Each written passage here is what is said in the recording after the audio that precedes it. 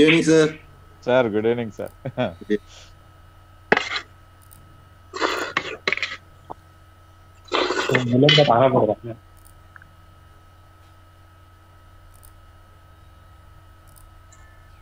Sir, you can start, sir. Okay, I think I think it is visible. now. Uh, sir, uh, voice is bit cracking. Yes, we can hear you, sir. Okay, okay. So, respected uh, seniors and um, uh, my friends and all my uh, beloved students. Today is the second class of the second innings of the world because the la- last time we have been more been focused because of the examiner examinee batch. So now we are we on the second class. Okay. So from these uh, for last uh, four five years, the, the MCI and the board of the DNB they are very particular about this subject. That is the communication skill, how you talk to the patient, what should be the approach. So if even this can come in your exam also as a question. Okay. So it is not that just for the sake of the lecture we are taking this one. So what is the effective way of communication with the patient and the relative? You have to build that skill. It is not been written anywhere. Okay. So I will be just going uh, very slowly so that you can understand. So basic outline when you talk of the communication skill, you have to be as a doctor, as the physician, as a surgeon, you have to be very polite. Never pretend that I know everything and whatever I will tell the patient and the relative is going to listen to it and they are bound to listen to it. It is not that. Probably 30, 40 years before when the doctors was just considered as the god and whatever, like second god, they will tell and that is the ultimate truth at this point of time this is not that way.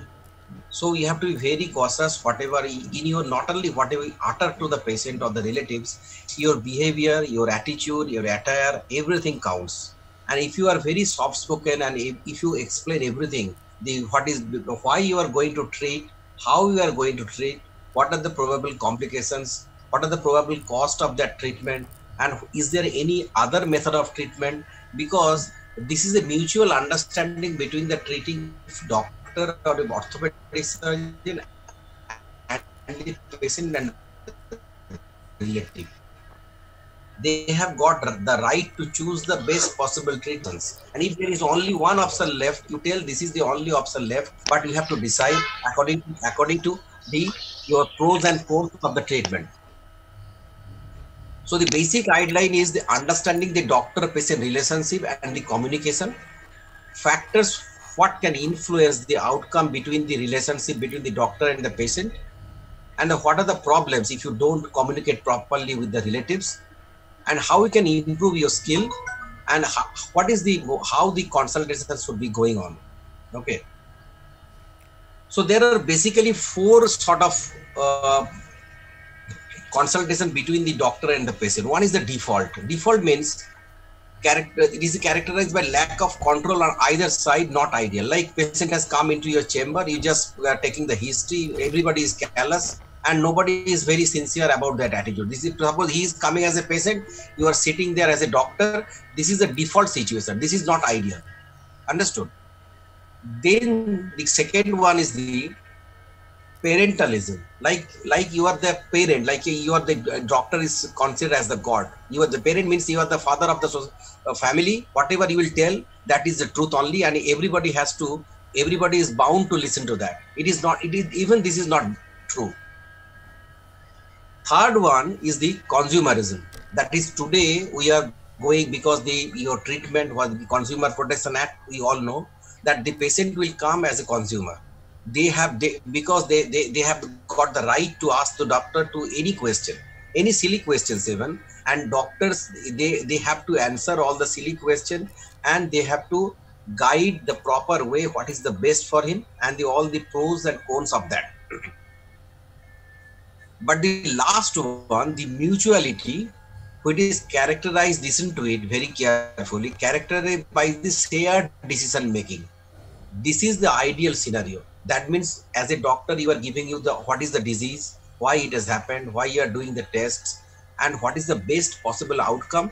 Both the doctors should explain to the patient and patient relatives and the patient and the relative has to understand that. So this is the mutuality is the best mode of the consultation or building the patient doctor relationship.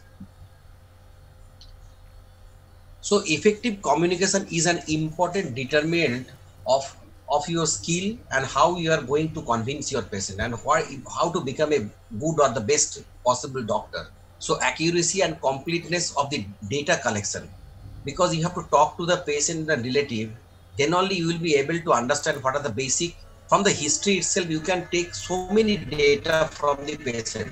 Okay, so this is very, very important. And the patient should be allowed to dictate or detail you the problems then only they will be adherent to your treatment or whatever you are going to listen. Then this will build an emotional connection between the patient and the doctor. And ultimately, both the doctor and the patient will be satisfied. So there are so many things in the doctor-patient relationship. It is not that okay, you have got the fracture, it is has to be fixed like a interlocking nail. This is the only best treatment available. So you get admitted, I will treat you, and you will be hundred percent okay. It is not like that in the present scenario it is not like that. Suppose there is a fracture shaft femur you have to tell that you might there is uh, this is a fracture this cannot be treated by traction. This is the mode base mode of treatment. This is the advanced mode. Probably for the uh, nailing this union rate is around 99 you have the chance of dvt the when the patient is going to walk what sort of antibiotic and how long the analgesic can be taken. I mean, what should be his lead period? Everybody will be uh, when I can walk. All the questions has to be answered. So, what are the factors that influence this relationship? One is the characteristic of the doctor. Even I have written like gender. Suppose, if, suppose some young female, if suppose the young doctor they cannot tell. Even for this is reverse is also true so the gender and the level of experience of the doctor is also very, very important. And the personality. Suppose you have to be very acceptable one from your attire, the way you talk to it. Does, the patient, some patients are frightened by the behavior of the doctor. So this is not good. You have to be approachable from your look. It has to be like that.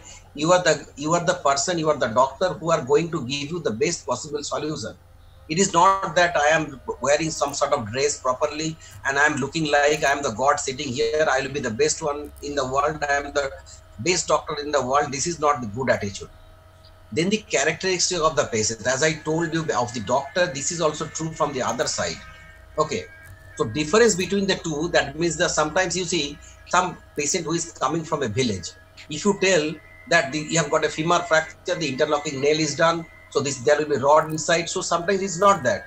You have to talk to the level of the patient and the relative and their level of education and the level of their understanding. Then only your communication will be going like the other way. Otherwise, whatever you tell, they won't be able to understand. And the, probably the patient is not satisfied by your answering and the explanation, and you will you will lose the patient permanently and sometimes there is a situational factor. Obviously we being the doctors we work in a opd or sometimes we are being stressed because of the load. But you have suppose there is a Colles fracture. If for a Colles fracture probably your the how you explain might be very less time. But suppose there is a compound fracture of the tibia you have to take a much longer time to explain because the outcome is not predictable. It is unpredictable because sometimes you do the x fix you take out the time, there might be pin infection. Sometimes even if you do the interlock or the plating, it might be infected. So all the pros and cons has to be, so even if there is a load, still you have to be very cautious about the, uh, you have to judge whether this patient very, very important. So problem with doctor-patient communication is deterioration of the doctor's communication skills. So you should not be non-disclosure. This is very very very important. So whenever suppose there is a complication you should not hide that. You should tell the patient with proper counseling.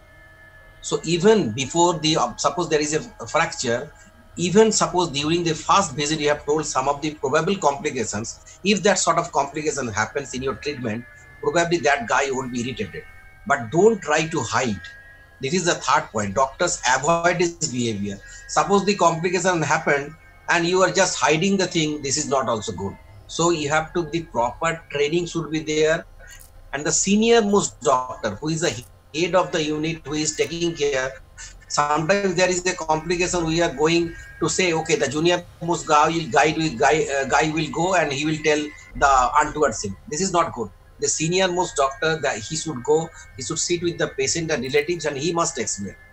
Then discouragement of the collaboration. So this is the basically mutual thing. So the doctor and the relative both had to understand everything. And sometimes the some patients are very arrogant and they're resistant to listening to anything. The best way is to avoid this sort of patients.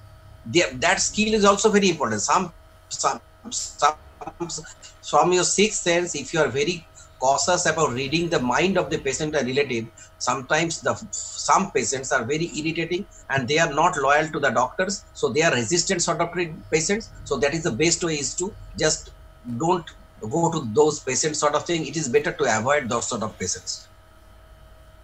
So safety in agenda. So i told you because by, by around 90 91 90s even in the us the health system uh, they, they could understand the communication skill is at, uh, of the doctor and the, those who are involved in the health system the it, like it is not only the question of the doctor the whole staff in the health system starting from the nurse the brothers the ot technicians whoever is involved in the health system the communication skill has to be this is a different skill. This has to be acquired and every day you go to the opd go to the indoor talk to the opd and talk to the relatives every day you will improve your communication skill so this skill, along with the skill of your surgical skill, your medical skill, you have to acquire. So if, if you follow this very, very simple steps, your every day will improve your communication skill. So doctors should encourage patient to discuss their main concerns. So this I tell like your opening remark. So suppose somebody is coming to your OPD, the opening remark when the patient, sir, I have got a pain in the back and this is radiant. Okay, okay. So probably we, this is the opening remark means how long you allow the patient to take the opening sentence. So that is known as the opening remark of the patient. So try to listen to the opening remark for 30 seconds to one minute. If you listen to 30 seconds to one minute, probably the patient will be very happy. Next day onward, you see when you stop the patient, when he open and remark is there. Probably that is less than 30 seconds. So it should be like one minute if you listen to that carefully, probably the patient and the relative will be very happy. And sometimes in the institutions, there are some skill training or the HR department is there. Sometimes we train the juniors and the those who are coming new to the hospital, we tell them this is the, the protocol in the hospital. You have to be this way that you should be dressed, you should be very polite, and this is the way your communication skill will improve. Then the consultation has got six keys like you have to have the good knowledge of the present scenario and you have to read proficiently to know the best possible uh, the, the journals textbooks then only you you will be confident inside then only you'll be able to and the treatment modality and if you are polite and if you explain then there will be the if, if the try this is a consumer thing but being a doctor being in the medical profession try समय को बोलो फटाफट नीचे दे देगा मुझे call आ रहा है वो कपड़ा नीचे दे देगा गणेश पाठवतोय खाली to build and going to do by the patient and the relative is very very important. And also remember that probably in the just sake of uh, attaining the communication skill you forget about the time management. Time management is also very very important. So it doesn't mean that for the sake of the communication you you just shoot off your time. That is not good so that is the skill even with the, your the allotted time you will build this relation so to an impact on the adherence to the treatment because if you are not if the patient is not relying on you he is not believing whatever you are saying, he will not adhere to your treatment. So the adherence to the treatment by the patient and the relative is very, very important. For effective doctor-patient communication, there must be mutual respect and exchanging of ideas, not just one-sided. So ah. always take the patient as the relative like your family members. Discuss with them. Then only will win them. Patient satisfaction and consultation preference can be influenced by the demographic variables. Demographic variables means the level of the understanding, whether it is an old guy, even for the geriatric guy, you have to be very, very soft spoken because they have the cognitive problem. They can't understand whatever the young guy will be understand. You should not be irritated. Suppose you have to tell twice, thrice, because the geriatric guy, they won't be able to understand what you are going to tell. So even their education level might be very uh, not at par, whatever you are going to tell. So you must understand whatever you are telling, whether they are understanding yes or no. So that is your judgment and for ideal consultation, doctors realistically need to figure out and tailor their approach with each different patient. Suppose all the Colles fractures should not be, has to be fixed like your lock, volar uh, locking plate or the dorsal locking three plate, three column theory, you know you have to fix like. So for a geriatric patient, sometimes your plaster, sometimes your uh, your K, K wire fixation. So you have to tailor the approach according to the patient's need so always remember that whoever patient is coming, he is like your family member. So if you just remember that the patient is your family member, you will never do something unethical. You will never do a unethical thing for your mother, for your father, for your brother, for your sister. So think the patient just like your relative, best possible relation with him so for a for your brother or uh, your sister, probably all the suppose small fracture you will not going to operate. So whatever you will do for a family member, try to explain. For a family member, definitely will get 10 minutes time. I am not asking you to give 10 minutes to all patients, but be very patient, be very calm and quiet. Don't very don't try to be rude. I know that sometimes I am also rude because of the pressure scenario, but later I repent at the end of the day. So I am telling all my juniors, try to follow these basic rules and you will be very, very successful. At the end of the day, probably, probably you have to give half an hour extra of the whole day, whatever you do today. But still, if you do like that, you will win many, many hearts and you will many, many patients. So ultimately, at the end of the day, you will be a satisfied person. Thank you very much for your kind and patient hearing. Uh, thank you very much, sir. I think this is the. Thank you, thank you. Uh, so, Jayant, it was okay. It was audible, no? Yeah, yeah, it was very good. Thank you, Kakatkar sir. And I, I think it's one of the very basic things that is needed for any doctor. How to communicate with your patient. You know, I think that's something which can either win or lose a patient. And uh, uh, you have uh, very rightly stressed one or two very important points which my guru used to tell, Dr. Bavdekar from Mumbai, that if any complication has happened, even if you have explained to them in the beginning that this all can happen, but not that every patient lands up with a complication. So, if the complication has happened, then in today's scenario, with all the medico legal things increasing, I think you should be the first person to disclose that particular complication to the patient. That's one thing which I have been telling all my students for last so many years, and I have been following it in my practice. On the day one that you disclose that uh, you know the patient has got some say low grade infection or he needs something more to be done, on the day one he may feel bad. कि ऐसे कैसे हो गया but then if somebody else get that chance to tell कि अरे ये infection हो गया ये तो ऐसा करना चाहिए था there actually the problem starts that he feels that you have been trying to keep him in the dark and the misunderstanding starts and then the medical legal issues increase so if you have been the first person to disclose any complication that has happened i think you can avoid number of complications I think yes. it was a very important talk, and uh, I think you have covered it very, very nicely, Samanta. Sir. Yes, sir. Sir, another one thing I tell my all my juniors: the five points I will tell to remember for your lifetime. One is the first is the communication. Remember whatever five point I am telling you. Second point is the documentation. Fifth, third point is the communication of your documentation. Fourth point is documentation of your communication. That means whatever you are explaining, that is known as the informed consent. Even this is asked in the exam. What is the informed consent? Yeah. And the fifth point, what I am telling, is the preservation of your documentation. So these five points, if you follow in your lifetime, you will never be in problem because we don't follow this. Communication, documentation, communication of the documentation, documentation of the communication, and the last one is the preservation of the documentation. So if you follow these five principle, I think you will be protected and also you will be satisfied from the medical legal aspect.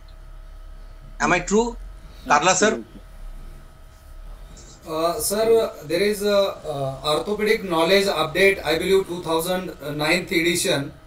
Uh, first chapter of the first volume is fully dedicated regarding the communication and especially uh, consent. And five essential points have been mentioned in the consent. First point is the diagnosis. We are supposed to tell the patient. Second point is which treatment you are advising to the patient and why. Third important point is which other possible treatment modalities are available. Fourth point is what are the possible complications pre, intra, post-op likely possible. And fifth important point one must tell even if patient refuses the treatment advice the natural history of the disease. If these five points we mention in the consent document it then i think we are covering medical legal part as far as consent is concerned uh, thank you very much sir any comment from the senior faculties Excellent. sir. Well, one more important point, uh, you know, if there is a dissatisfied patient, like Akatkar sir told that uh, suppose there is uh, some complications, uh, there is an important thing that uh, what he told that he must uh, be the first person to communicate that uh, there is some complication. But afterwards, whenever you uh, consult that patient with complications, take give little extra time to that patient. That's true. Be extra compassionate. That will prevent a lot of problems against you, a lot of problems in future. Give little extra time, com- on a compassionate out, uh, see that this complication happened. These are the possibilities that we can do it, or else I will refer to my colleague who is an expert in this field. Who, so talk to your colleague. So give extra time, be little extra compassionate, so that that will prevent a lot of problems in this particular patient. uh, i think kalra sir partha One, sir one- one of my senior used to tell if, if you tell just just sir go ahead I think we are losing the link. if you tell some of one of my senior Kakatkar sir, yeah, Kakatkar is telling something. yeah. No, no. I, I we are losing your voice. That's what I was trying, trying to tell you. I will like to make a point. Yeah, yeah, I have yeah, yeah. So I'll, I'll be, I'll be, I'll be. The I- thing is that I have seen a lot of fights in the casualty emergency, and uh, attendants at the time of death beating the doctors, particularly in Delhi. No, it's And- everywhere. Kalra. Uh, that that could have been avoided retro- retrospectively if you are not aggressive at uh, in communication. Yeah. The resident doctor are little more energetic and aggressive. There is a way to communicate at those points when somebody dies, when some complication happens. I mean, if your communication skill is good, these all incidents can be prevented. uh, In go- fact, in UK, they have a UK induction course for all the residents, and there they teach all these things: how to take a consent, how to break a bad news. Suppose the patient dies, suppose patient has complication, how to break that news, and how to prescribe medicines, how to maintain the record. All these things are taught in that course. There's a three days course. Every resident at the entry has, has to undergo this course. When I went as a fellow, I was just a fellow, so but uh, I was sent for this course that uh, how to you know undergo this. It's a fantastic course. Such kind of courses should be held. I mean, in KM we just uh, take a you know two hours uh, session for this uh, first year. Two hour, two hour uh, session. Yes. yes. Yeah, we just tell, but at least it should be a one day session, I believe, uh, uh, that uh, how to do all these things. Yeah, I think it's a very Yes, important now- now- suggestion now- and now should it- be implemented. I think Yeah, everywhere. yes. Yes. Yeah. So uh, this so this, this is the request to the, all the senior members like Gopa Kumar sir, Partho sir, Kakatkar sir, Kanodia sir. So if uh, even Jayant and all these those who are in the education system, at least minimum three days should be there to whenever the the pace so that the first year students are coming to the department of orthopedics before going to the ward or the OPD, they must be having three days uh, session how the how the thing uh, goes in that particular institute. So the, even in some of the corporate hospital in Kolkata, there are seven day induction course. Believe me, Sub- Yeah. it is for seven days. They are not allowed to go to the OPD and the indoor to see the patients. They are for seven days and they when their HR will do the medical test and also they will be attending two hour course for five, seven days just to tell them how the things go around in that particular hospital. So that is more or less like your skill development. Sir, nowadays MCI has made it mandatory, and in fact, our first batch joined 15 days back, and we had five days uh, induction. Uh, with this, uh, I will request Gopakumar sir, Partha sir, if they have any point to make regarding these communication skills. And meantime, I am requesting Puneet to share his. Screen. And, and, Gopal. and any Gopal. eh, sir, sir, sir, any questions Ah. regarding this communication related issue from student side? I will request the students to put your questions on chat box so that at the end of today's session, I will take those questions uh, one by one. Uh, sir, Kanujia sir. Ha, I would like to make two points. Number one, while explaining the complications, you will be you should be very tactful.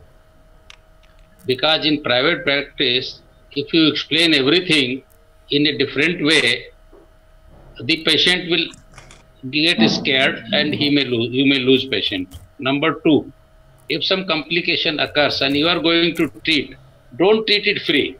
Otherwise, they will think that you have done something wrong. You can give concession, be sympathetic, but it happens sometimes like that. But if you try to say that now, this next surgery I will do it free, they will think it is your fault. So they will not be very happy and they may ask for something else. Sir, if your communication in the beginning of treatment is proper, I think most of the things they take care of, and we are getting beaten from the society. With my little experience with senior faculties, I am just making this statement. Our improper communication in the beginning with the patients is the majority of the times reason for getting bitten from the relatives. With this, I think uh, uh, I will request Puneet and with senior faculty's uh, permission, Kakatkar sir, you want to make any points, sir? Yeah, yeah, yeah. Yes, sir. Please go ahead. Well, luckily uh, today we have two more faculty, Dr. Reddy from Tirupati and Dr. Gupta. And on behalf of the joints, uh, this Zoom class faculty, I think I welcome both of you. And uh, I am sure the addition of two more people will definitely be a, a very useful thing for the entire course that we are conducting. I think uh, you can start with the program. Yes, we welcome you both from the side, and as Kakatkar sir is telling, we welcome both of you. So I think you will all enjoy here. Yeah. Thank you very much, sir. Puneet, be ready and you can start with your presentation. Good evening, sir. Uh, good evening, respected sir, and uh, all my colleagues.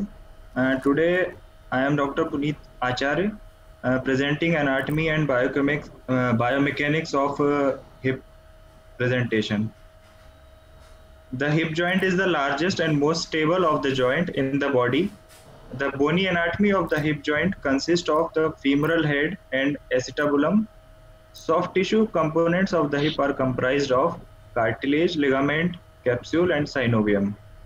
It has a very strong capsule and muscular control. It is a multi-axial ball and socket joint.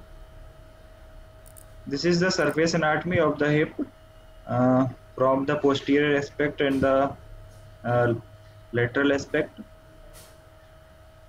showing uh, uh, surface uh, markings as uh, gluteus medius posteriorly and uh, gluteus maximus and intergluteal cleft and uh, site of greater trochanter femur ischial tuberosity gluteal sulcus.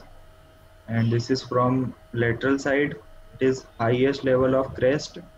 The site of anterior superior iliac spine site of posterior superior iliac spine gluteus medius maximus uh, site of ischial tuberosity gluteal fold uh, hip region site of tensor fascia lata site of highest level of greater trochanter femur. Femoral triangle. This is formed by the inguinal ligament the sartorius laterally and the adductor longus on the medial side. This is clinical landmark that is used as a reference point because of underlying structures parts of the femoral nerve artery and vein are located within this area. The femoral pulse is palpable here as well as the lymph nodes. If there is an infection or inflammation in the lower extremity. This is the angiogram showing blood supply of the hip. This is uh, anatomical diagram showing blood supply of head of the femur uh, branch of obturator artery uh, uh, to the head and in the neck uh, lateral femoral circumflex artery medial femoral circumflex artery which is a branch of profunda femoris artery. And here it is showing normal head and avascular necrosis of head. And uh, cartilage is normal in the normal head and irregular in the avascular necrosis of head. Epiphyseal blood supply arises primarily from lateral epiphyseal vessel that enter head posterior superiorly. Vessel from medial epiphysis artery entering through ligamentum teres. Epiphyseal arterial branches arise as a arteries of subsynovial intraarticular ring.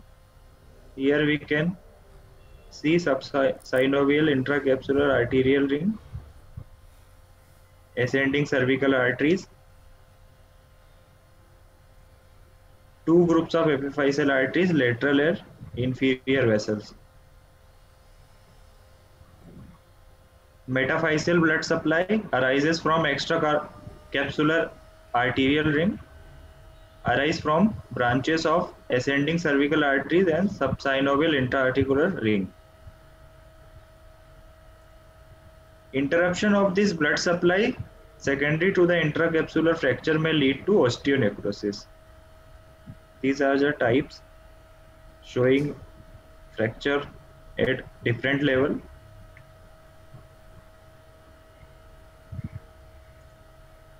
Changes with age. Even after closure of epiphyseal plate there is minimal anastomosis between epiphyseal and metaphyseal circulations. In the adult portion of the blood supply to head of femur is derived from vessel on the posterior superior surface of the femoral neck. This is the bony anatomy of the hip lateral view and medial view. These are the structures tubercle of the crest external lip of iliac crest.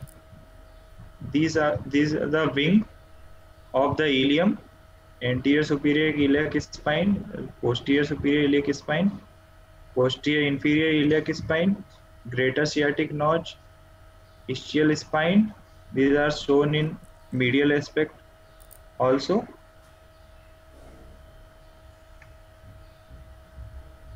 Now coming to the acetabulum. Acetabulum is formed by the fusion of ilium ischium pubis and deepened by the acetabular labrum the position of the acetabulum is outward forward and downward it allows approximately 30 degree of freedom of movement in multi-axial directions. Labrum. The acetabular labrum is a horseshoe-shaped fibrocartilaginous structure attached to the periphery of the acetabulum.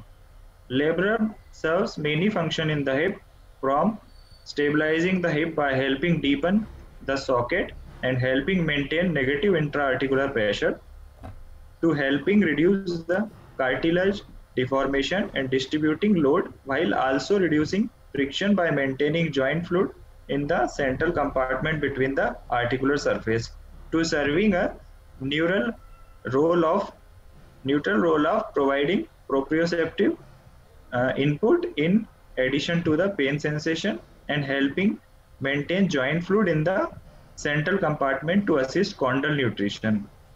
Labral tear of the hip are the common cause of intra-articular hip pain and one of the most common indication of hip arthroscopy. Coming to the capsule, the hip joint is encapsulated by a thick cylindrical fibrous sleeve. It arises from the outer margin of the acetabulum, insert proximally, both anteriorly and posteriorly, just proximal to the acetabular labrum. It surrounds the femoral neck as a sleeve with its distal attachment running along the intertrochanteric line anteriorly before reflecting up upward to blend with the periosteum. At its posterior aspect, the capsule only partially covers the femoral neck.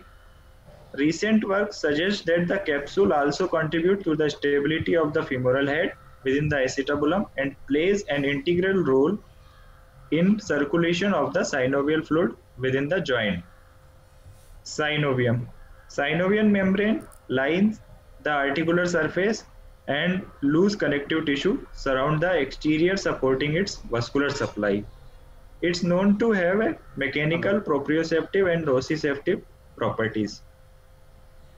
This? Hello.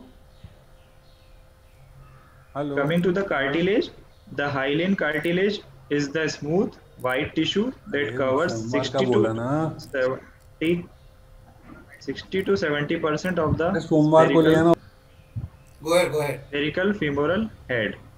All areas of femoral head that articulate with the acetabulum are covered in hyaline cartilage which extend past the equator of the femoral head. There is only one small uncovered central area of the femoral head known as the fovea capitis where the ligamentum teres inserts. The thickness of the articular cartilage varies throughout the femoral head, range 0.8 to 3.8 mm and acetabulum ranges 1.2 to 4.8 mm. Coming to the bursa, three bursa are found in the hip and pelvic region. The bursa are act uh, to decrease the friction between the gluteus maximus and the bony structures. The trochanteric bursa lubricate the site at where the maximus passes over the greater trochanter. The gluteofemoral bursa separate the maximus and the vastus lateralis. The ischial bursa serves as a weight-bearing structure when the patient is sitting. Active movements of the hip. uh, these are the range, movements range, flexion 120, 110 to 120 degree, extension is 10 to 15 degree, abduction 30 to 50 degree, adduction 30 degree, lateral rotation 40 to 60 degree, medial rotation 30 to 40 degree. The resting position of the hip occurs at 30 degree of flexion, 30 degree of abduction and slight internal rotation.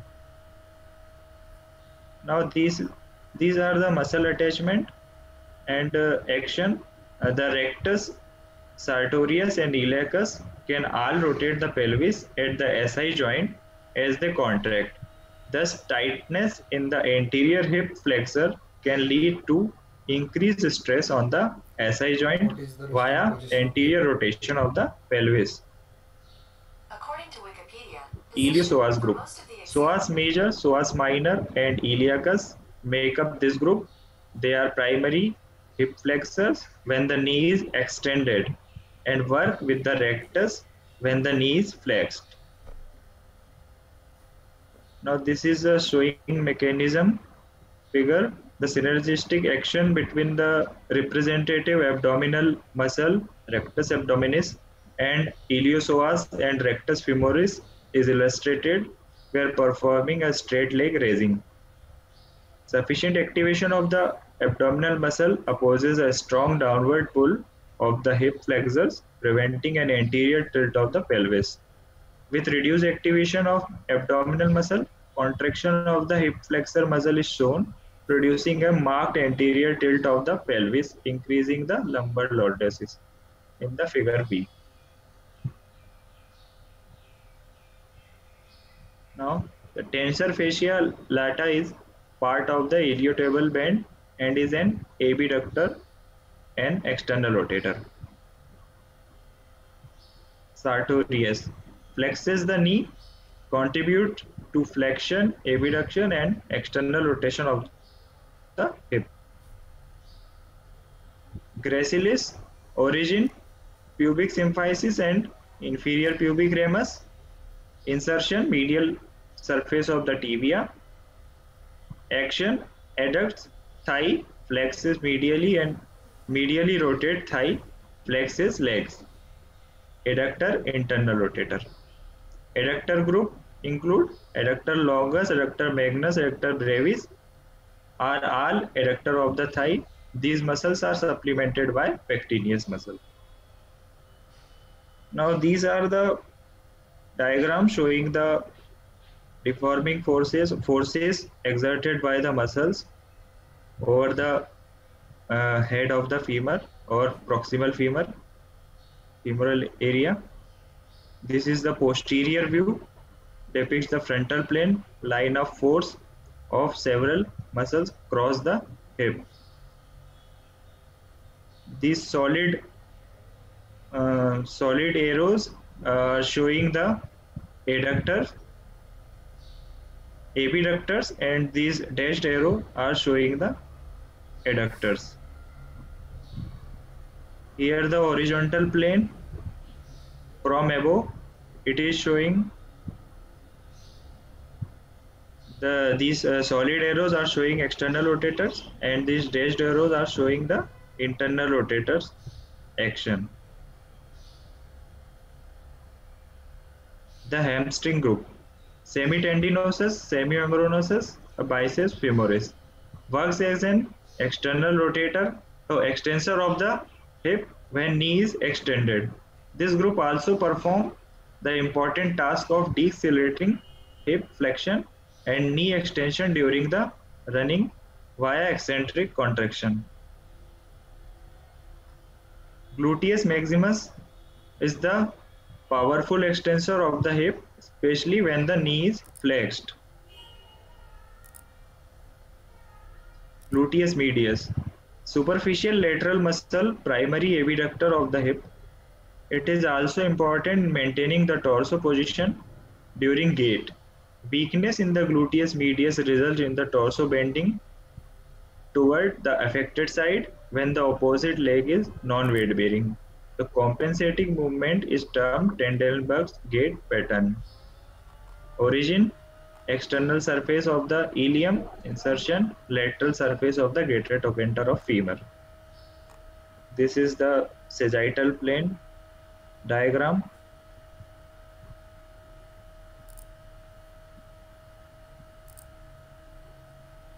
The cuff muscles of the hip are piriformis posterior side, quadratus femoris, obturator externus, obturator internus, obturator externus, gemellus superior, gemellus inferior. Origin are a lateral border of ischial tuberosity, insertion, medial surface of the greater trochanter. All these muscles have the primary function of acting as an external rotator of the hip. Now these muscles has origin uh, greater trochanter and lateral lip of linea aspera of femur. This is vastus medialis and uh, origin at intertrochanteric line and medial lip of linea aspera of femur. Muscle is vastus intermedius. Origin at in anterior and lateral surface of the body of the femur. Muscle is vastus lateralis. Same for all three insertion base of the patella action they helps flex thigh.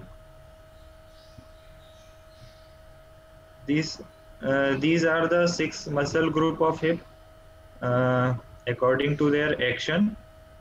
Flexors in, include primary include iliopsoas sartorius tensor fasciae lata rectus femoris adductor longus and pectineus. Secondary include adductor brevis gracilis gluteus minimus. Extensor group include gluteus maximus adductor magnus biceps femoris semitendinosus semimembranosus and secondary include gluteus medius adductor magnus. Uh, external rotators primary include gluteus maximus piriformis obturator internus gemellus superior gemellus inferior quadratus femoris secondary include gluteus medius gluteus minimus obturator externus sartorius biceps femoris. Internal rotator secondary include gluteus minimus gluteus medius tens, tensor fasciae lata adductor longus adductor brevis pectineus adductor magnus.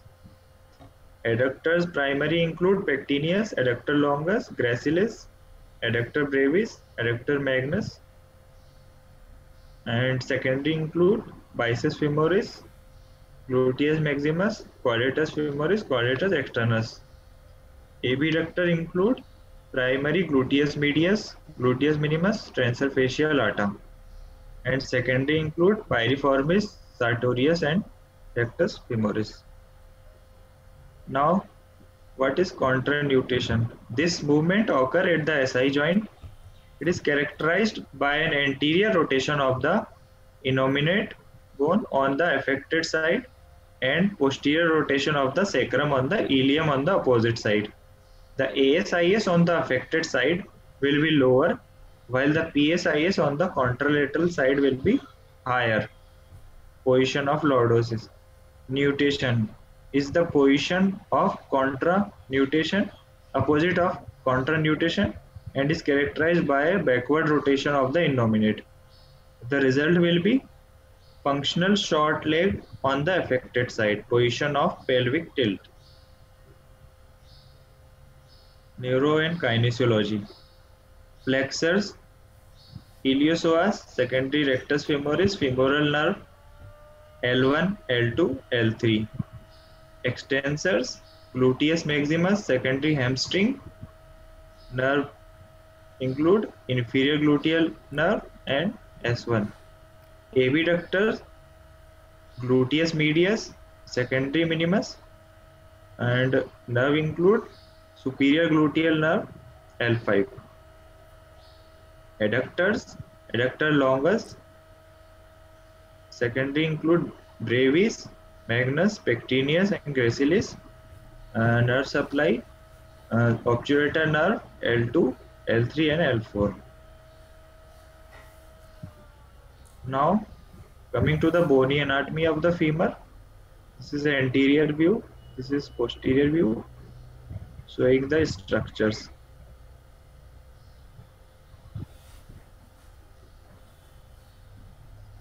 The femoral head is approximately one half hemispherical in nature. The articular surface is covered with a thick articular cartilage except at the center where the ligamentum teres connect. The angle of anteversion torsion is normally in the 15 to 20 degree range. The normal angle of inclination is approximately 135 degree. This angle is somewhat decreased in women uh, and thus leads to the overall Q angle changes. The angle of torsion is the forward angle relationship of the head and neck. Now, axis of the lower limb. This is the anatomical axis and this is the mechanical axis. Mechanical axis line passes between the center of the hip joint, center of the knee joint and center of the ankle joint. Anatomical axis is between the tip of the tro greater trochanter, center of knee joint. Angle formed between these two is around 6 to 7 degrees. here it is shown anatomical axis of the femur is 6 degree valgus to its mechanical axis anatomical axis of tibia is 2 to 3 degree varus in its mechanical axis but the two tibia axes are considered to be identical for the practical purpose as the differences between them falls within the acceptable margin of error. Relationship between the mechanical and load bearing axis of the lower limb. This is the normal and this is the varus knee. Here the uh, mechanical axis deviate lateral to the weight bearing axis. And in the valgus malalignment it deviates medial to the load bearing axis. Now coming to the joint reaction force. It is defined as force generated within a joint in response to forces acting on the joint. In the hip it is the result of need to balance the moment arms of the body weight and abductor tension. Maintains a level of the pelvis. Joint reaction force calculation. Joint reaction force is generated in the hip. It is two times the body weight in the slr three times during the one leg stance five times during the walking and 10 times during the running. During two leg stance there is 2 by 6 of weight by lower limb and trunk with upper limb constitute 4 by 6 of weight. Each hip is one one third of body weight. So one third plus one third is equal to two, two six of the body weight. Friction and lubrication not a function of contact area lubrication decreases the friction W gravitational force weight of the body minus weight of the ipsilateral extremity. M is the abductor muscle force. R is the joint reaction force. Here here joint reaction force is always higher than the body weight.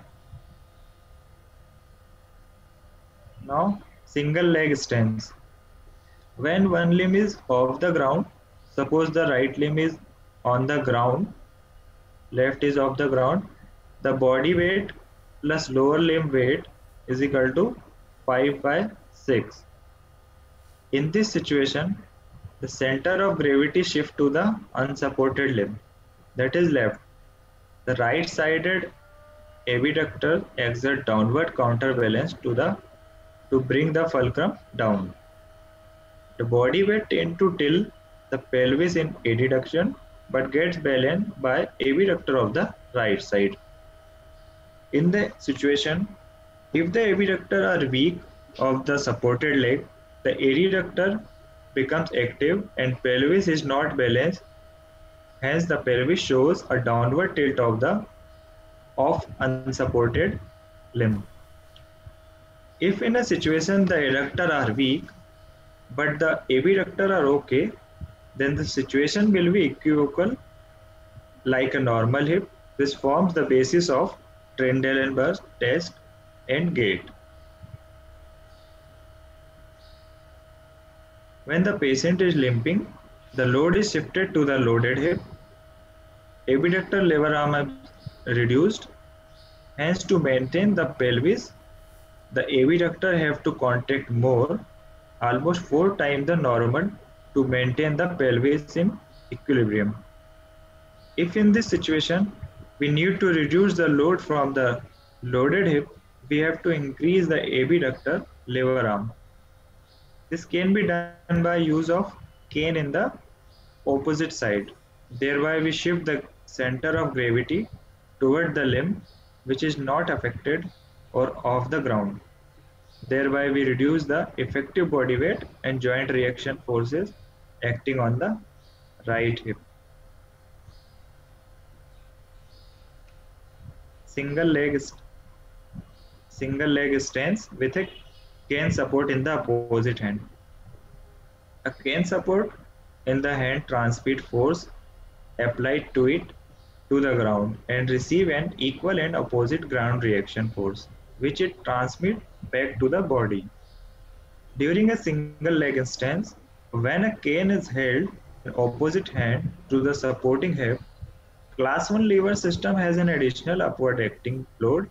The ground reaction force, which has a longer level arm than the supported upper body weight, this produces moment in the same direction as the abductor muscle force.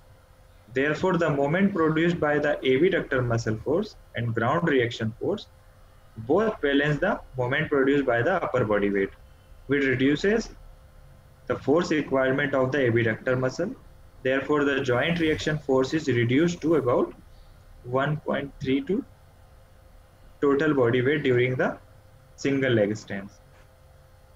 It is the free body diagram where we showing the forces acting on the hip during single leg stance with a cane support in the opposite hand.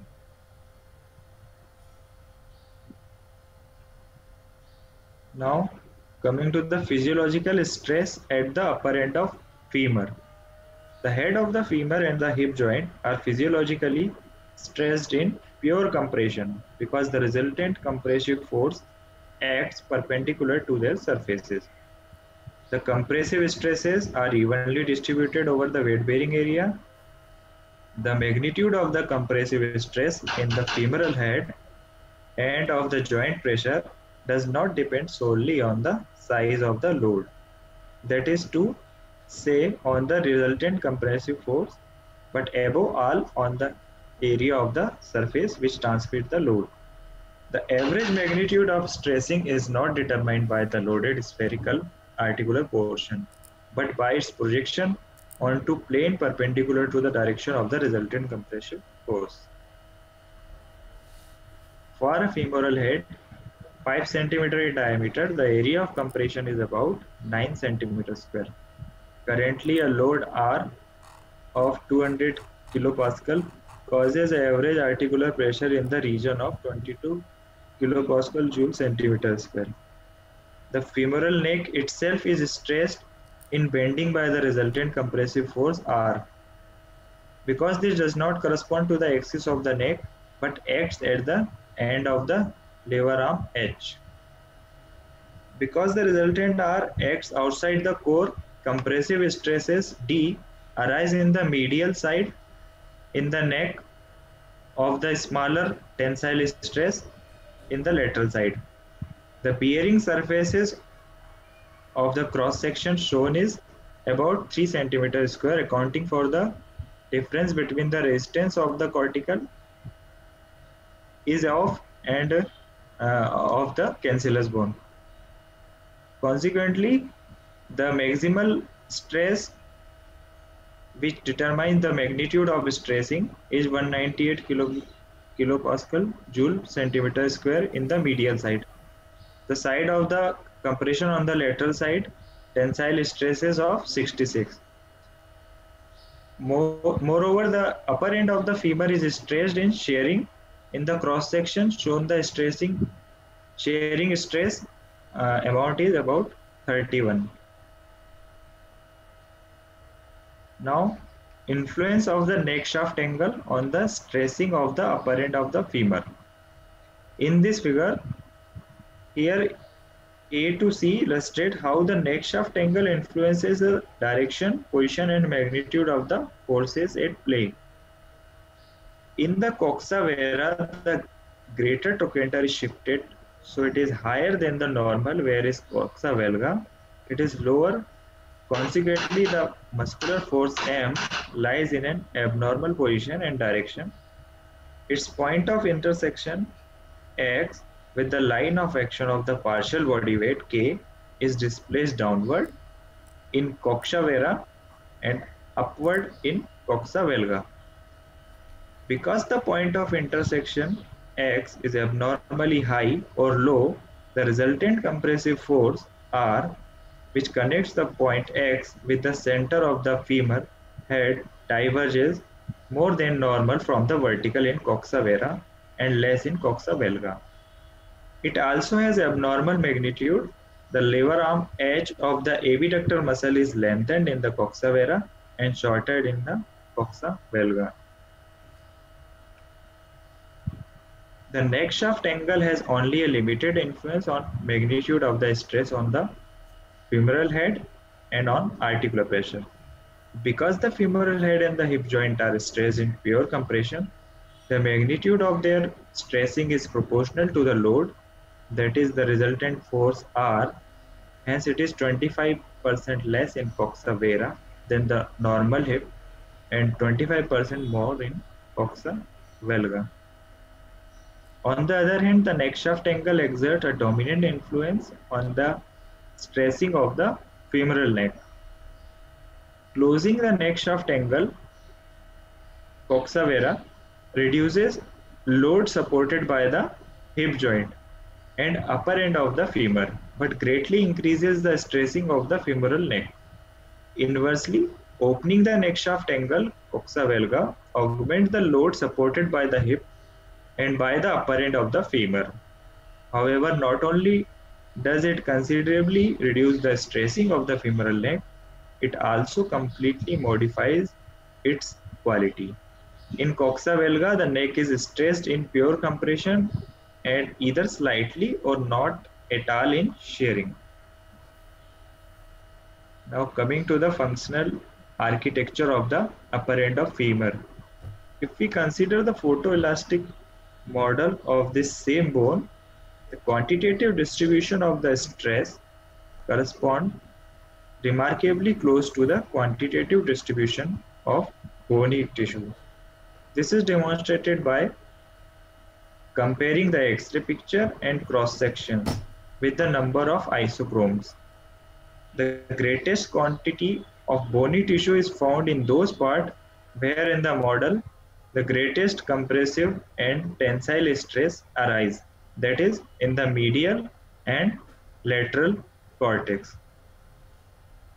In the region of Ward's triangle where the stresses are very small, bone tissue is scarce. The trajectorial structure of the cancellous bone as a proof of the stressing of the femoral leg. The architecture of cancellous bone that is seen in the X-ray of the anatomical preparation of the upper end of femur shows complete agreement between the principal trabeculae and trajectorial pattern arrived at from theory and by means of photoelastic model. When the neck shaft angle is normal or in coxa vara, the X-ray of the upper end of femur shows two entirely different bundles of bony trabeculae surrounding the Ward's triangle.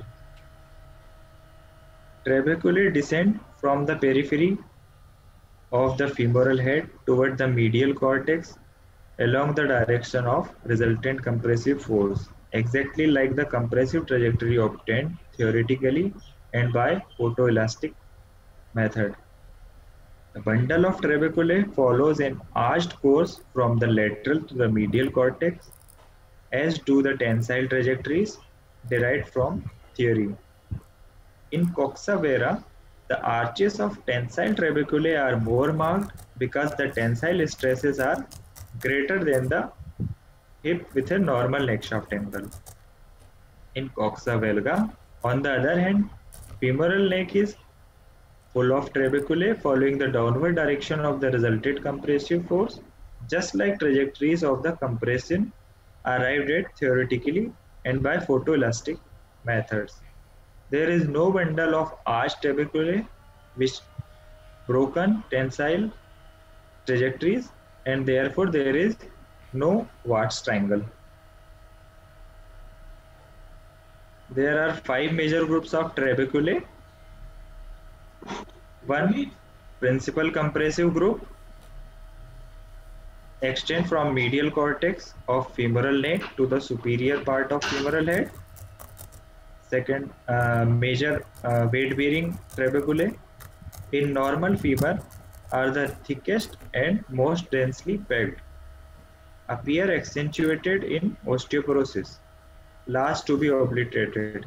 Second, secondary compressive group originate at the cortex near the lesser trochanter, curve upward and laterally toward the greater trochanter and upper femoral neck, characteristic, characteristically thin and widely separated. Principal tensile group originate from the lateral cortex inferior to the greater trochanter, extend in an arch-like configuration medially, terminating in the inferior portion of the femoral head. Fourth, secondary tensile group arise from the lateral cortex below the principal tensile group, extend superiorly and medially to terminate after crossing the middle of the femoral neck. Fifth, greater trochanter group composed of slender and poorly defined tensile trabeculae arise laterally below the greater trochanter, extend upward to terminate near the greater trochanter's superior surface.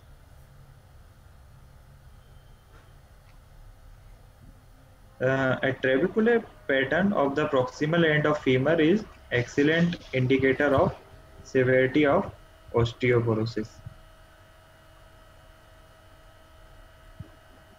Now this is the Singh index.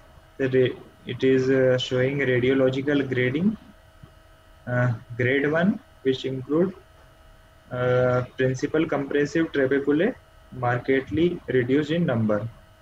If uh, in grade 2, only principal compressive trabeculae can be seen. All tensile trabeculae have been resolved.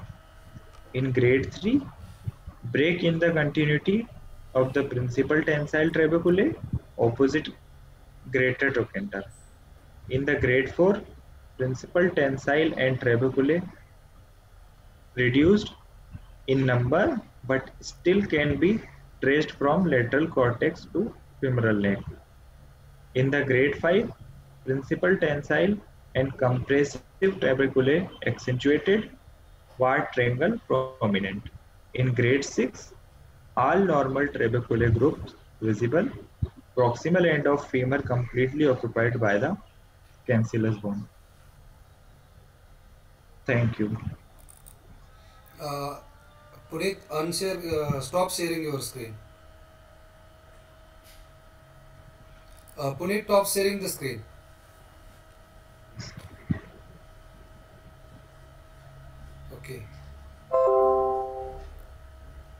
Now, uh, was uh, your thing was that it, it was very elaborate and he have covered most of the things and it really it is very much needed for the theoretical aspect. I will request that the, more or less uh, taken everything in that uh, part of the lecture. It might uh, listening boring to most of the part, but this is very much needed for the theoretical aspect and understanding the many many things in the biomechanics. Really, you have done a great job and you have taken many things in your uh, presentation. uh, Thank you, sir. well done, Puneet. Uh, now I will request Gopakumar sir to uh, uh, add his comments and uh, uh, about the uh, presentation, sir. So it was a very elaborate presentation. Very Gopal, there is some background. presentation. Not from here, sir. Kanojia I think sir, just keep uh, Kumar sir, unmute. My my You mute everybody just it Right, was sir. little it was little too theoretical just reading I from the I will, book. I will, It I will mute it. I am Kanojia, muting sir. everyone. I am muting. I have muted everyone. Sir.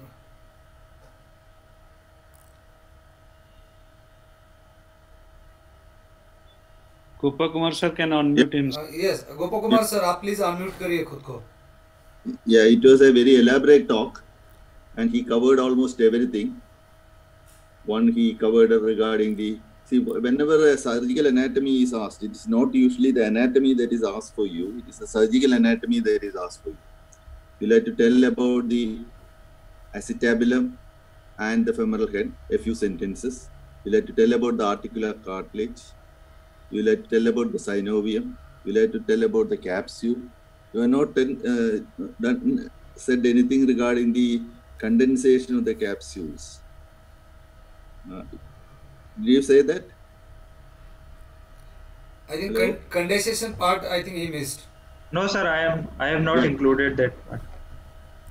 No, no, that is very important in the in your uh, anatomy, isn't it? What is Yes. significant is the iliofemoral ligament, ischiofemoral ligament, and the pubofemoral ligament, especially the ligament of Bigelow and the importance of uh, ligament of Bigelow. Okay. Then uh, you said up regarding the bursa that is important. The muscles uh, you should know in detail because uh, uh, you just know, need to know the origin and insertion of all the muscles, the nerve supply and the action.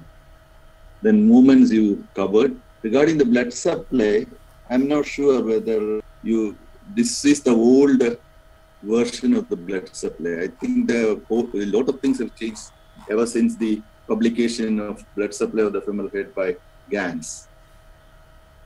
So I'm not sure whether you should follow this because in most of the meetings by Ganz and his followers, they were said they often say that uh, there was some confusion regarding the previous version of the blood supply that the lateral epiphyseal uh, vessels are important. Now, Ganz says it is the medial epiphyseal vessel that is more important. Uh, but both things can be applied. You did not say anything regarding the lymphatic supply of the kidney. because that again Yes. is important and asked for in your exam. Is it so?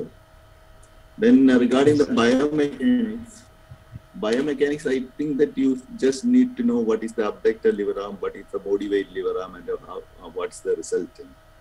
What happens in a single leg uh, uh, stance when you are walking and running. No details are necessary. Then the next thing is uh, second point, which may be asked for you, is why you use a cane on the opposite side. The third thing is what happens when there is a coxa vara and what happens when there is a coxa regarding the biomechanics. Then you said regarding the trabeculae, uh, that is important, especially the Singh index uh, and the Ward's triangle is important. I think uh, you have covered most of the things. Mohanty sir. Anything else? Sir, sir, please carry on. Gopakumar No, sir. no, that's all. Uh, That's all. We covered everything. Only thing is uh, that biomechanics part. I don't think many of the uh, students uh, might have understood. I think uh, Mohanty sir or somebody should uh, uh, clarify it again in one of the subsequent talks. Uh, sir, next uh, next talk is of Mohanty sir only, sir. Coming Tuesday. Yeah, because yeah. what we are interested is what is practically important for a total hip replacement and other things, uh, biomechanics. Thank you very much, sir. I think Kakatkar sir has some other uh, webinar, so I will request him before we continue for the uh, uh, remarks from the other senior faculties. Kakatkar sir. Yeah. Sorry, I have to uh, join another webinar and moderate that. So I think it was an excellent presentation.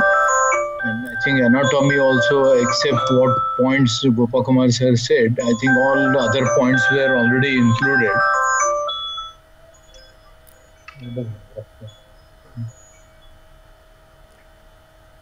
And um, I think biomechanics also, I think from the point of view of uh, the examination of the hip, as well as from the point of view of joint replacement, I think majority of the points were very nicely covered. Um, the uh, one point I think uh, for the benefit of all the students, you know, the Singh's index, you know, which practically is now not very important, but somebody may ask you, the Singh's index is uh, the pattern of trabeculae that was described by Professor Maini from Delhi. And uh, it's one of the contributions of an Indian orthopedic surgeon to the hip area. So if somebody asks you, you must know when you talk about the trabecular pattern, you know, the Singh's index, you know, the gradation, that is something which I think all of you should remember. I think otherwise it was an excellent uh, preparation and good presentation. Uh, I think uh, we should uh, definitely continue the same pattern in future also. Thank you. Uh, thank you very much, sir. Now I am requesting uh, Kalra sir. Uh, sir, uh, your comments, sir. Excellent talk. The boy has worked very hard. I think we have gained all. No problem. Thank you, sir. Mohanty, sir. Yeah, the presentation was very good. Uh, he has prepared it well. as uh, Kakatkar sir had told, I know biomechanics of the hip, uh, we expect in the biomechanics of hip one diagram, typical diagram uh, where the you know abductor force into the lever arm is equal to body weight into the that moment arm. That is extremely important uh, in the hip biomechanics. That uh, one need to understand that uh, whenever the you know suppose body weight is increases, then you know it has to be balanced by the abductors on that side. That is important. Doing any hip replacement, or any osteotomies, or any bipolar, whatever that that needs to be understood. And you have explained very well this varus, valgus, and uh, you know uh, this uh, neck shaft angle and how the biomechanics gets uh, altered. It is uh, very nicely explained. Uh, somebody was questioning about you know femoral triangle. You know femoral triangle is also important in hip joint examination femoral triangle always you palpate for your local radio temperature and all these things so it is important to know about femoral triangle so as we move on when we discuss about examination of the hip and subsequently we will discuss these things more and more in detail.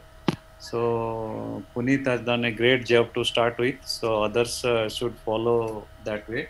Yeah. And puneet uh, one thing i would suggest to improve your presentation i'm not uh, that you know gradually when you improve your presentation directly don't uh, you know copy from the book and just paste it and show it in the slide you whatever is written in the book you can just put the slides five six points in the slides and whatever you have understood you describe all those things on the basis of those points. You can take the diagrams and you can decide that uh, makes the presentation more appealing. Okay. And uh, always when you start uh, start with something else uh, so that to attract the audience you know towards your presentation. Uh, what you started, you know, directly with the, you know, synovium, whatever, blah, blah, blah. Some slide, some catchy slide introduction slide should be there. Uh, I'll give you an example. Uh, some residents who are present from my institute, they know. One guy was there a long time back. I, we in our unit presentation every Saturday we have our own presentations. This first post was joined fresh and he was given plaster of Paris as a you know presentation and uh, you know everybody was sitting chit chatting their plaster of paris. Okay routine things he will tell. But first slide he showed a statue of plaster of paris beautiful statue of a plaster of paris. The next slide he showed an art uh, something like that you know from the paris something like that uh, from somewhere he has collected says second slide. Third thing something else was related to plaster of paris. And fourth slide was our emergency ot where his friend is applying a plaster and his apron is stained with a plaster of paris and he asked the audience and what is common in this all these four slides? And then he introduced the subject as plaster of paris. It was amazing that he has that you know knack of presentation. Yeah. so then he subsequently spoke but the audience was silent that what he's showing and then he was attracted to its presentation. So when you get more experience then you will improve on your presentation. But thank you for a nice uh, beginning. Thank you. Uh, reddy sir. Okay he did extensively and uh, I think uh, you would have uh, explained each module separately, uh, which is uh, surgical with surgical importance. And I think in another time somebody will tell about approaches, surgical approaches. I think. Yeah, we. So overall, that was good. Okay, thank you. Yeah, sir, Shivananda sir. Unmute, sir. Shivananda, sir. I think he is uh, not able to get through. Uh, Jain, sir. He has oh. unmuted. He has unmuted. Sir, sure. Uh, sir, start with mnemonic, sir. Sir, this time. Puneet, it is an excellent presentation. Uh, one thing I can tell you that. So, as uh, Mohanty sir said, so uh, add some flower to that then. That is the only thing i can tell you. And most important points what are the most important points? You should keep a chart in a box. Most important points because all the slide all the things we cannot see and we cannot go through that. But most important points if you keep it in a box then it is very good. Otherwise it is very good presentation uh, yeah. Jain sir Nothing. I don't have to add anything. No, sir. Uh, sir, any question you would like to ask, sir? I've already asked these guys in the. Yes, sir. Uh, sir, that's why I'm asking. I want clarification on that because uh, a few students might not have even seen that chat box question regarding regarding this uh, uh, Chung Hunter is in, Hunter is internal ring and uh, Chung is external ring. Subsynovial. Subsynovial. Yeah. Okay, sir. I think most and of the questions uh, uh, Mohanty sir and Jayanta sir has uh, answered on the chat box. Uh, sir, go ahead, sir. Jayant sir. No, I was just saying that they have to read this chapter because Mohanty sir in his next class is going to ask them questions. Okay with this इसी thread को पकड़ते हुए मैं सब students को request करूँगा I think you are lucky to know the biomechanics and basics about the hip none other from the uh, Mohanty sir. So now uh, that's why we put this uh, class before Mohanty sir's talk. It has clear, created a background now. Please go back, read the anatomical aspects very well and sir's topic also very well. If you will come with that sort of preparation, I think this will help you throughout your life uh, because all the fine tuning part you will understand very clearly from Mohanty sir's uh, talk. Gopal Kumar sir. Gopal, Gopal, I will say one thing. Yes sir. sir. These students they are presenting first time, so they should get fine tuned of their presentation. One of the seniors or some faculty, so that hmm. as Dr. Mohanty has said, it should not be copied and pasted and make more interesting. So if they do it earlier, present, prepare the thing and get it fine tuned by some senior or some faculty, the, the time wasting will not be, it will be more interesting Uh, sir, and uh, more clean. Sir इस बार इस बार मैं और गोपाल दोनों गलती पर हैं हाँ, sir. He sent the presentation to us. Yesterday we got the presentation, sir, but time uh, factor and he, we don't wanted he, actually him to get more confused. He had already made that uh, complete uh, uh, material. Already th- it was there. So this is beginning, sir. They are second year and third year students. I think uh, they will understand and improve. Mohanty sir has elaborately uh, mentioned these points, sir. Gopal Kumar sir. Okay. Yeah, I've already made my comments. I think um, it was an excellent talk. Yeah. Okay, now I am requesting to the participants, five more minutes are with me. Uh, students from student side, if they have any questions to ask, uh, they can unmute themselves and ask the question. And no question on examination. That would be next. Only on hip anatomy and biomechanics if they have questions. I think no one is coming forward, sir. Uh, sir, Partha sir. Partha sir is busy in Uh, hospital. Sir, sir, sir, please unmute yourself. And uh, Yeah, yeah. yes, we, we want I your just come to the hospital to see a patient. Okay, sir. Then, then, sir, today's talk was on anatomy and biomechanics of the hip. No, he, he, he heard it, but uh, I I have heard it. Most of it I heard. Okay, sir. So my request to you is, please uh, give some tips to our students, whichever point you feel he should have stressed more. No, just now I have not heard totally completely. So let somebody else give the thing, uh, tips. Okay. I have heard can- part can- of it and part of it I missed. Okay, sir. Uh, You can ask Uday uh, Kumar sir. Uday Kumar Yes, sir. sir. Yes, sir. Kumar His sir will clarity give in presentation Yes, was good. He speaks well. Sir. Now Uday Kumar sir and then uh, Samantha sir. Uday Kumar sir. In short, sir, I have three minutes only. Unmute, sir. Uh, Uday Kumar sir, unmute. Unmute, unmute, shell. Samanta sir, till then, I think he is not. Uh, No, I think I think Uday Kumar sir is not listening to. Yes, sir. He is not been Ah, able yes, to am I listen audible now? to it. Yes, yeah, sir. you are audible. Ah, somehow this video, the my screen sharing lost, uh, and for a second year student, I think he has done very well. Uh, maybe it looks like a monotonous uh, because he has uh, collected a lot of theory there, but I think he will improve in the subsequent presentations. What I, Puneet, I tell you, it should be like a storytelling, some uh, a direction director telling the hero a storytelling like that. That's why you take off and journey landing should be perfect. Like uh, what Mohanty sir said, no, the same thing is there told in a different way. So that you should attract the attendance, uh, the delegates and the students. Attract the, should be more attractive and then should be at, more attentive. That's what Puneet uh, I advise. But otherwise, excellent collection of the material. The subject is good, but the presentation has to change a little bit. That's all. Uh, very uh, uh, agreed, sir. Actually, I remember my professor uh, asked me to present on DDH when I was in third term uh, to the complete hospital audience, college audience uh, during my PG. And after few Third minutes, student? third year, second year MBBS, uh, MS student, sir. I was second year MS student. And at that time, after few minutes, I was so monotonous. Then my professor told me, which I am remembering throughout my life, Gopal, after few minutes, you started liking your own voice.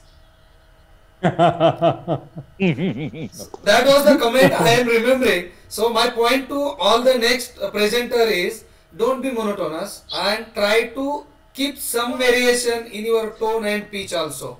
And uh, as Mohanty sir correctly uh, pointed out, uh, catching attention, our span, attentive span is not more than 30, 35, 40 minutes of every one on an average.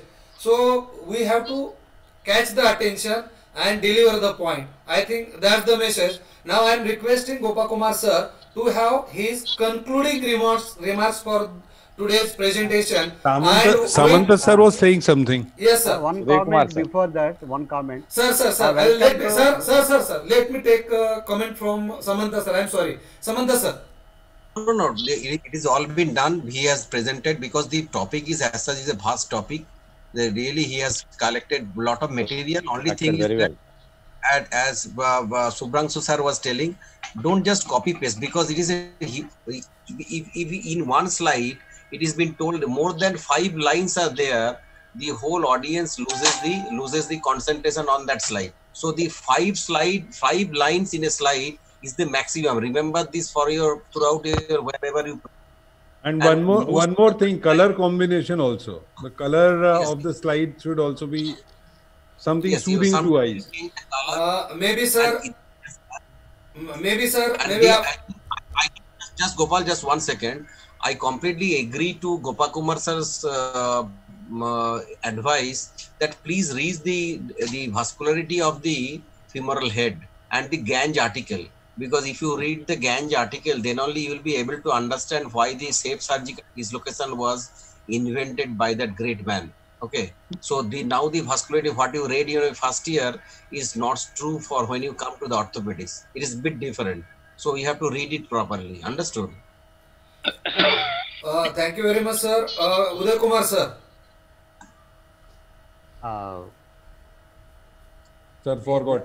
I, I forgotten what I wanted to Okay, sir. Thank you very much, sir. I'm requesting Gopakumar Ah, sir. no, no, sorry. Sir, just wait, sir. I, I welcome Dr. Srinivas Reddy, uh, my good friend and uh, very close friend of mine. Dr. Reddy garu, very happy to see you. From the, you're representing Tirupati, the, the city of Srinivas temples. sir, welcome. Dr. Parthsarthi here. Yeah. Welcome. very happy So to nice see, to see you. Srinivas Reddy. Thank a you. good friend of mine. Thank you very much, sir. Now I have one uh, uh, announcement for the students, and uh, uh, then I will request Gopakumar sir to have his concluding remark, and then we will call for the day. Uh, uh, uh, the students, my request to you all is, I got one message from one of the student. He, uh, if it is only for the faculties, then I will leave, or I am going to leave. I don't know whether this gentleman is a PG No, student no, no. or. Uh, Gopal, Gopal. Huh, sir. Uh, The, the problem was he has appeared in his exam just recently. Okay, okay. So I asked him, uh, "What are you doing here? You have, you should be relaxing." So he said, "If it is only for faculty, I'll leave." Oh, okay, okay, sir. Okay, sir. Understood, sir. Rohit, Rohit अपना पुराना student है. Oh, right, sir. Right, sir. Uh, Gopakumar, sir. I'm requesting you to have your uh, concluding uh, remarks with advice today, and then we will call for the day. Is it okay from Jayanta, sir? Is it okay? Yeah, yeah, yeah, yeah. Uh, perfect. Gopakumar, sir, please. It was a, a very good talk to start with. Uh, he said almost everything regarding the. The only thing the presentation might have been a slightly better. I am sure he will improve. And regarding the uh, the slides, I think uh, you will have to first read, get the important points, and put three or four points in each slide. that is the best way to do that. You can uh, do training for that also. I think he, he will improve in the uh, subsequent presentations. That's all I want to say. Thank you. Thank you very much, sir. And friends, uh, don't miss uh, Mohanty sir's talk on Tuesday. And one point, small comment. Right, If, sir. if the we have to see the face of the vice captain. Can I ask a question? Sir sir मैं usually मेरा face video of करके रखता हूँ अभी भी of है क्यों क्यों? ए, अभी निकलता हूँ। अभी आ रहा हूँ sir yes sir yes sir नहीं वो अपनी जवानी का फ़ोटो लगा दिया उधर उसने he doesn't want that everybody अगर वाइस कैप्टन वाइस कैप्टन को फ़ील्ड में नहीं देखोगे तो खेल में मज़ा नहीं आता है खेल का ना। One uh, doubt, sir. Yes, sir. Are the students told what subject is going to be Yes, sir. taught Ye- the next week? yes, sir? sir. The Yes, sir. next class? Yes. Next Okay. week it will be HIP examination on Tuesday. Friday is the open case for any of the students who want to present on hip joint. I think they should come, uh, I mean, prepared to, they should study about that topic and come and uh, grasp it much more easily if they, Yeah, if and they have he read has it uh, before. given them a homework to come for a Viva voce from uh, Mohanty sir on the anatomy and biomechanics. Okay, sir. So, And thank you, sir. Dr. Sen, you are ready to present the case? Unmute. Okay. Un- unmute. Yes, sir. Yes, sir. Do you have a case of hip joint? No, sir, currently I don't have it, but I want to. No, Okay, if sir. you- Bye, sir. Okay, Yeah, sir. one week uh, there, Bye. so you can prepare. Mansa, sir. for it. Uh, Yes. That is a, I'm leaving. Okay, bye. Okay, okay. Bye-bye. Okay. Bye. That's it. Bye bye, sir. So, Dr. Sen, if you can find out a case in your hospital, you do that. You have seven days time. Uh, Pranav, you prepare the Yes, case. You prepare the case for next uh, in next three to four days, and you will be ready by next uh, Tuesday. Okay. Ne- next Friday, Friday. Friday. Okay. Sir, Friday. currently I'm staying in home, so I don't have a case actually. So you can allot me okay, something. okay. You will tell me in next 24 hours. You will find the nearest government hospital or wherever you are, and if possible, you will communicate back to us. Okay. Any hip case. Okay, sir. Okay. Uh, I think uh, uh, Pranav Sen will give his uh, yes or no in next 48 hours. Otherwise, we will find some other alternative, sir. Yeah, there are a lot of students who are exam going. Anybody will come forward. All right, sir. Now with this, we are already Okay, let's, seven. let's call it a day. Okay. okay, bye. seven seven. And thank you very much. Uh, we will meet on Tuesday. Uh, Tuesday, Tuesday. 5:30. 5:30. Thank you. Okay, bye. Bye bye, sir. Okay. Bye. Bye, sir.